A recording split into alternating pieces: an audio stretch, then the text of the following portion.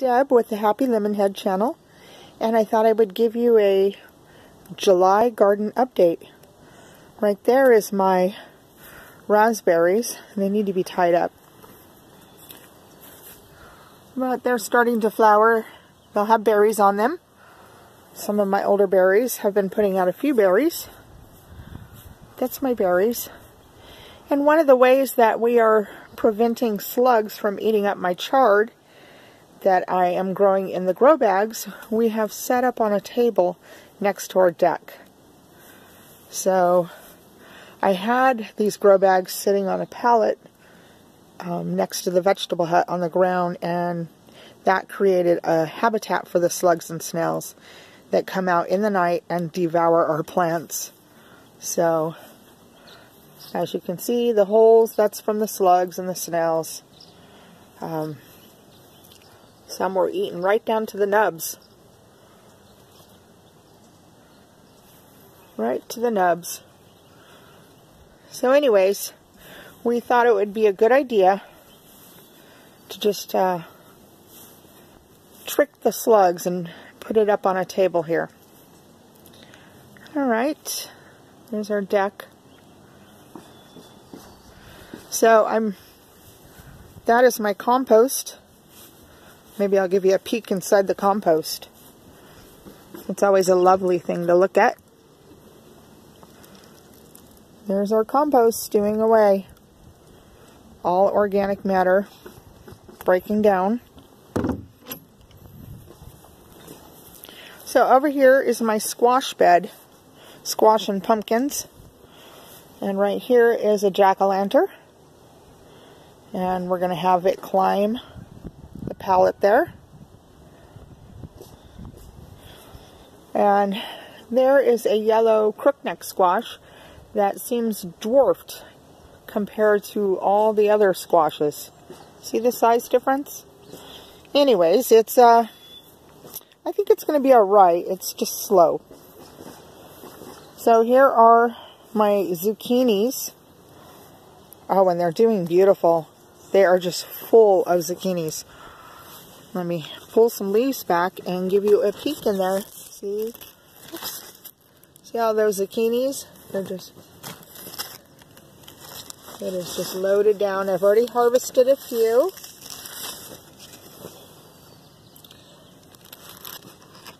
That's a Mexican type of zucchini, a cocozelle, I think it's called. I can't remember. So they're doing beautiful. So I have three of the Black Beauties and two of the Cocozelle. And I have three of the, or two of the, the straight yellow zucchinis and one of the crookneck. So, and over here is an acorn squash that is climbing. And it's got flowers and little squash on it. And over here is the butternut squash, and it will climb. It's actually spreading out everywhere. There's my strawberry towers that I made out of milk crates and stuck PVC down in the sides so I could water each crate and give it nutrients. I give it Vermistera worm casting. It's a nice big red berry there. So, and this is a pine berry. I don't know if you're familiar with pine berries.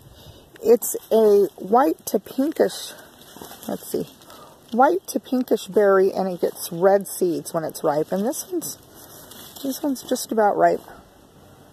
So I grow pine berries with my strawberries. They have kind of a pineapple taste a strawberry pineapple taste. There's another pine berry right there. So this, oh, here we go. Here's a ripe pine berry. See? It's pink with red, with red seeds. That's a pine berry. And they're a tart sweet.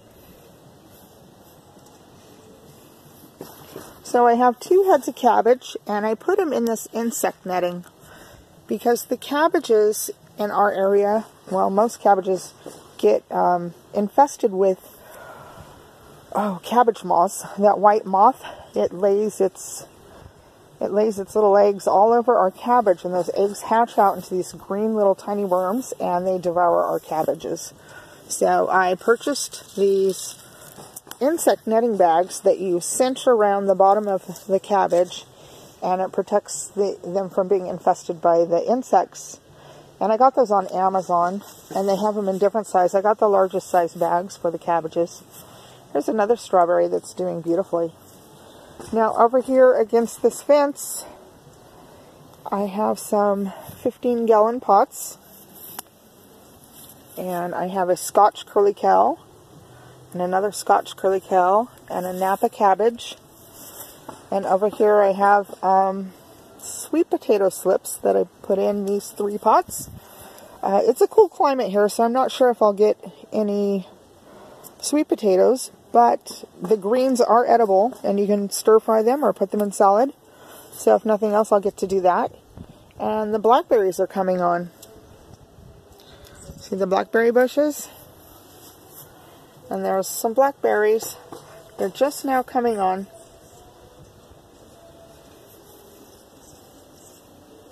I love being able to come out into my backyard and pick blackberries. There's my carrot bed. And you might be wondering why I have plastic forks in there. And I have plastic forks in my carrot bed uh, to um, try and keep the cats from using my garden box as a litter box. For some reason, they like this carrot box. And uh, that's the last thing I want is cat feces and urine in my carrots. So I stuck in these plastic forks in the bare areas where I've already harvested carrots and started new seeds. Over here I have beautiful chard. I have Swiss chard and I have rainbow chard. And there's my spinach going to seed. So lots of chard. I want to show you how big and beautiful these leaves are. Isn't that gorgeous? So the chard over here wasn't eaten up by slugs, just the stuff in the grow bags. Oh, never mind. Here's a chard where a slug got to it.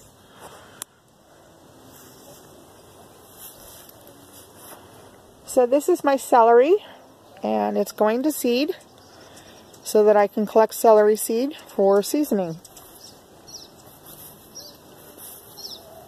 And here's my garlic bed. I'm growing soft neck garlic, and it's just about ready to harvest. You know, uh, soft neck garlic is usually ready to harvest anytime after July 4th. So it's, um, see how it's getting the brown dried up leaves around the stalks? Well, that tells you that um, down below where the garlic bulb is, that it's getting the dry brown um, papery covering. So that tells you it's about to ready to harvest. So I'll probably be harvesting next week. Some are ready now, but there's a few that probably need another week. And I have volunteer potatoes growing in with my garlic. There, see the potato is flowering. It's another picture of my strawberry tower.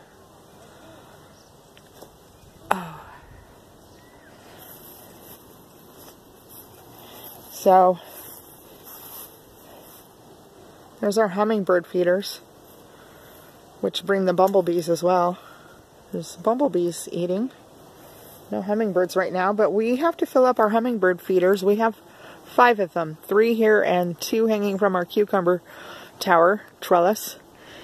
And we have to fill our hummingbird feeders every morning. So over here in the kale bed, it's doing okay. I had chopped a kale down just to the main stalk because it went to seed. And it's starting all over again. And another Scotch curly kale and some parsley. And right there is a red Russian kale that I started from seed. And my broccoli is is now getting spindly and wanting to flower. So I'll probably be pulling that out soon. Now I want to show you this. This was a head of cabbage. And I cut it off and I left some of the bottom and now it's growing new cabbages, new cabbage heads. It's growing three of them. So I have some ocean kale that's really soft and tender right there. And my dino kale. And this dino kale over here was getting eaten up by slugs, so I put it in one of the netting. And there's um, an older Scotch curly kale doing fabulous. And parsley and red Russian kale. And I have a um, Napa cabbage growing in that one. And I just planted some thyme. And there's volunteer dill coming up because I had dill growing in this box last year. And let's see. So my passion flower along the fence, they're blooming. I love this flower. That's a passion flower. If I lived in a warm tropical climate, I could get passion fruit. But I don't. I live in a cool, coastal, foggy climate. Right up next to the redwoods. Over there is the redwoods. And there's fog hanging out in the redwoods. So that's the passion flower growing all along my fence line.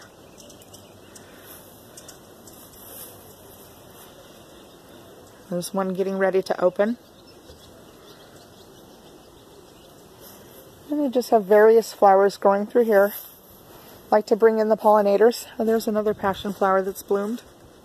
So beautiful and sunflowers. They haven't created their flower yet. They're starting though. You can look down in there, there's a sunflower starting. Geranium. Nasturtium and some mint, spearmint, and a tree collards. These can grow to be about 18 feet. There's a tree collard that broke off and we just stuck it in the ground. But it's a beautiful plant.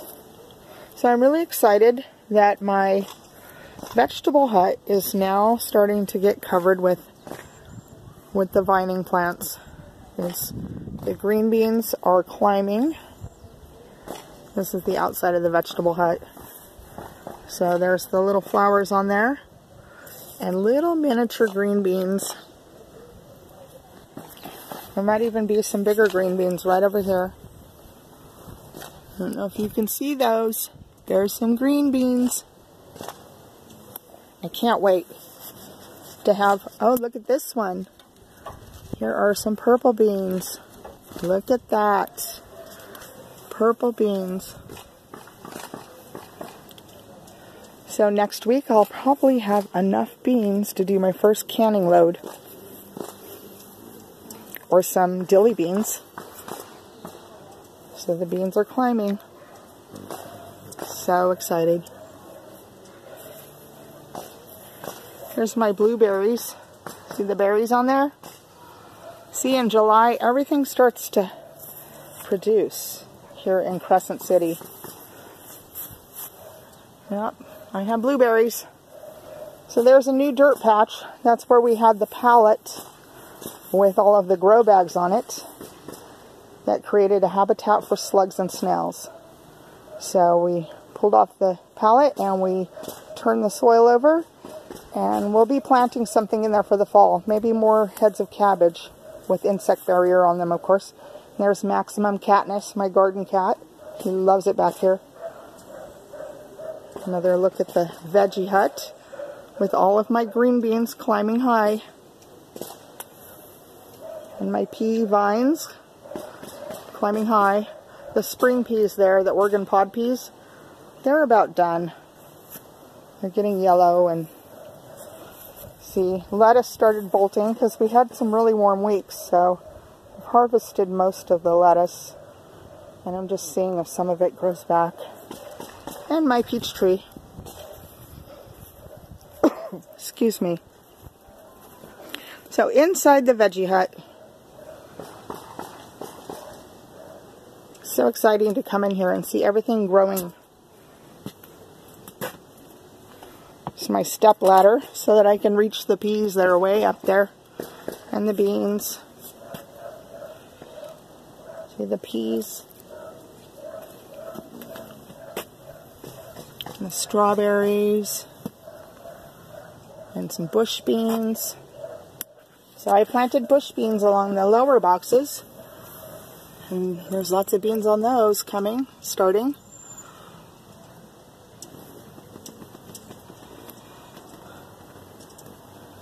Lots of bush beans. Oh yeah, there they are.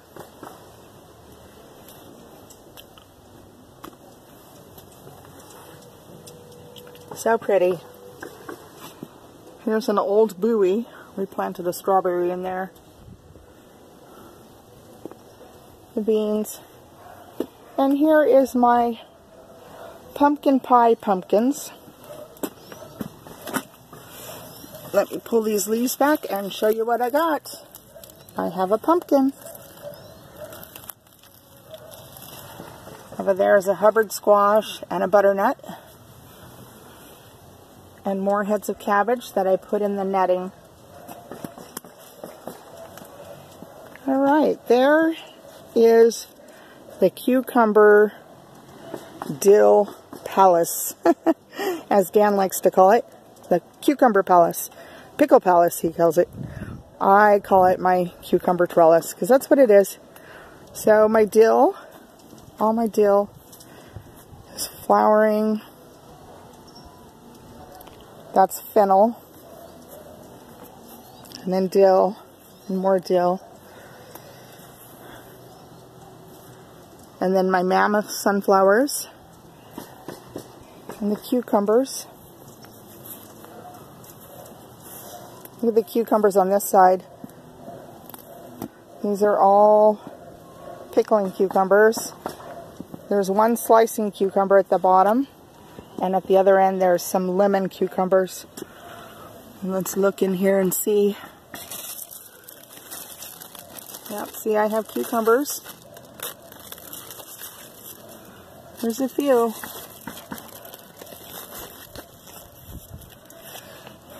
Then over in these, on this side of the cucumber trellis, in pots I have more cucumbers. Those are lemon cucumbers. Then these are pickling cucumbers. More dill. I had planted some heads of lettuce in there.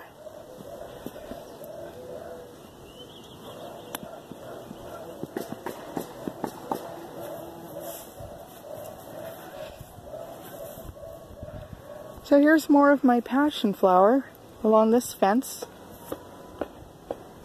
And lots of blackberries behind the greenhouse in my neighbor's yard. So onions, I have Walla Walla sweet onions in that pot. Walla Walla onions. And then yellow onions. And here is another look at the cucumbers and that mammoth sunflower that is almost eight feet tall. Another head of cabbage. And a Napa cabbage.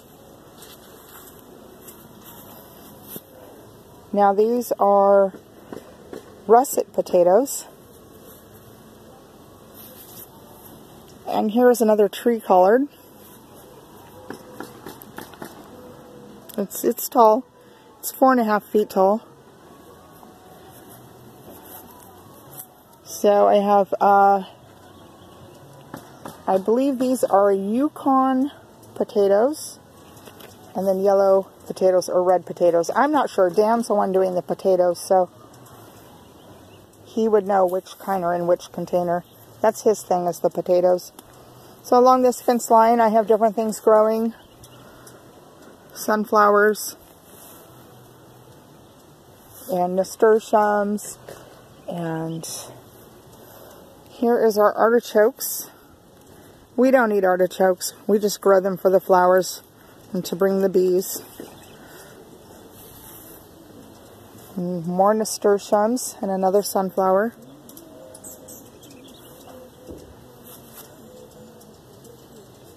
Aren't those pretty? And my dahlia is blooming. Isn't that pretty? And another artichoke. All right, let's go look at the greenhouse. My tomatoes are doing so well. I'm so excited. I've actually picked my first two red tom tomatoes the day before yesterday. Here's some things I just have in pots along the side. Lavender and thyme. Some strawberries. Green onions. And my cilantro that I'm letting go to seed for the coriander. And some uh, chives. And lemon balm and sage. Lettuce that's going to seed. So lots of great things going on. Lots of flowers. Here is a hydrangea. Now with this hydrangea, I just spliced a piece off of a, a hydrangea out in the front yard and stuck that in the dirt uh, about eight, nine months ago. And now I have a little hydrangea that's ready to be planted. And there's another lavender, and catnip, and more nasturtium.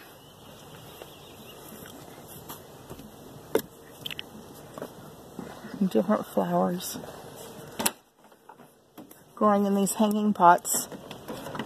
Alright, are you ready for this? Look at this greenhouse. The tomatoes are to the roof on both sides.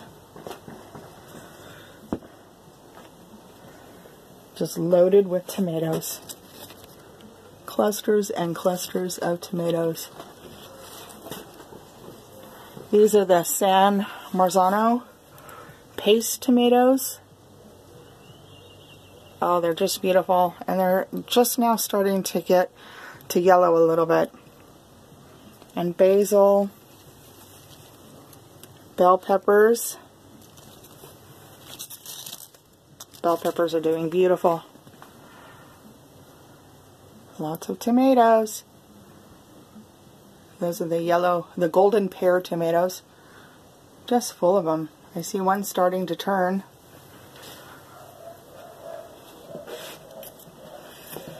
And another. It's a jungle in here. More basil. And those, I don't know what they are.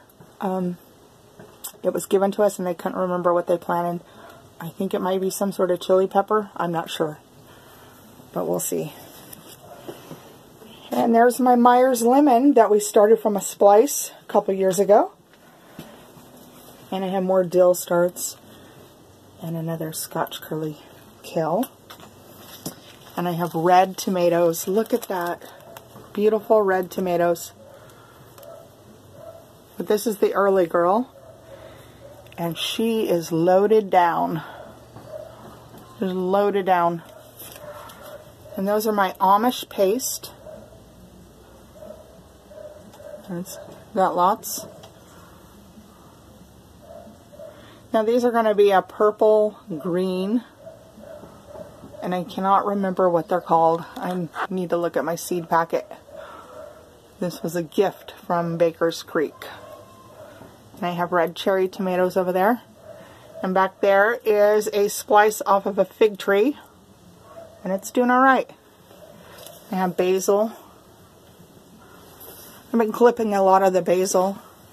I clip it and I put it in these uh, trays with uh, olive oil. And back there's a sage. But lots of cherry tomatoes. I just love it. Alright. And there's Maximum Katniss. He thought he would just hang out right here. He's been following me around in the garden. So this is my rhubarb bed. And I have a rhubarb that is just a, a plain green stalk. And then I have the rhubarb that is most people recognize as rhubarb because, whoops, sorry about that, it has a red stem. So I have the two types. And those are some wild berries that we planted in. Right here is the wall of blackberries that grows over my neighbor's yard and into my yard. See, there's a bumblebee. doing its thing. Pollinators are so, impo so important in the garden. So we're just starting to get blackberries. They're just coming on. It's so exciting to be able to come out and last year I was able to fill three gallon baggies full of blackberries to freeze over for winter use. And this year the blackberries bushes have doubled in size coming over our yard. So I have a feeling I will get six gallons this year, but this year I'm going to freeze them into uh, quart-size baggies because we don't really make blackberry pie. I don't like blackberry pie. It's too seedy. Um, but we like to have them for smoothies or to drizzle over ice cream or I don't know, just whatever. I might make some seedless blackberry jam this year. Who knows? But here's my pallet wall. It's mostly flowers now because the lettuce has bolted and been harvested. There's some thyme there. And some fuchsias. I love fuchsias.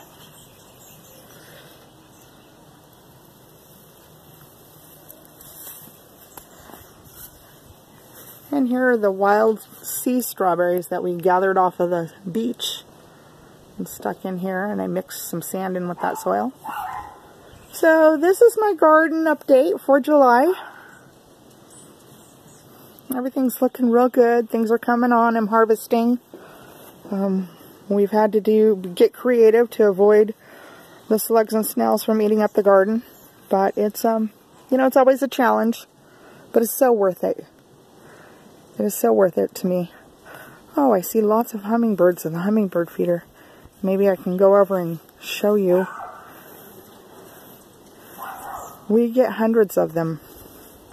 You know, hummingbirds are great to bring to your garden. To your garden, they bring down the aphid population because they love to eat aphids and others, and they are pollinators as well.